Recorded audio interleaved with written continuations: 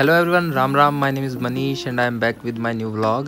In this vlog i will show you my neighbor and also let you know some of the points which is different from our india.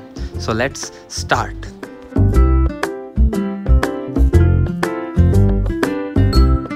In japan parking space is a very big issue so you can easily find out the common parking space everywhere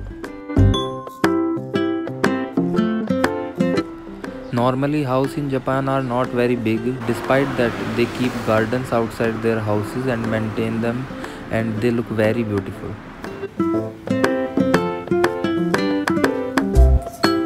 In Japan you also get to see uh, coin laundry everywhere. Here you can wash your clothes and it will charge you around 900 yen for half an hour. You will also find push button pedestrian crossing at many places here. Here when you have to cross the road, you have to press this button. As soon as you press it, the signal will turn green and uh, you will be able to cross the road.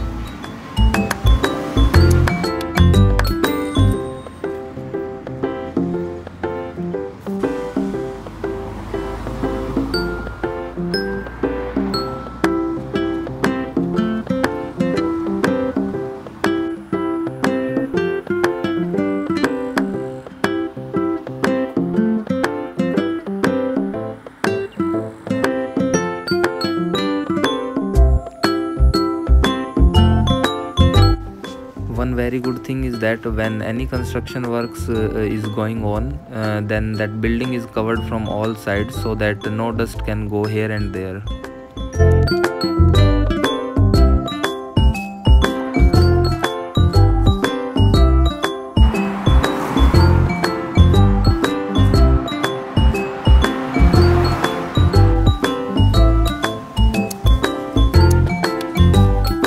this is a gym near me where i went and i confirmed the fees here.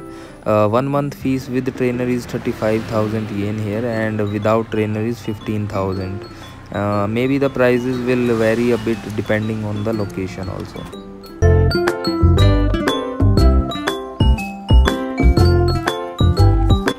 As i already told you that there is a big issue of parking space in japan so that's why you also get to see paid parking here which ranges around 500 yen per day to 1000 yen per day.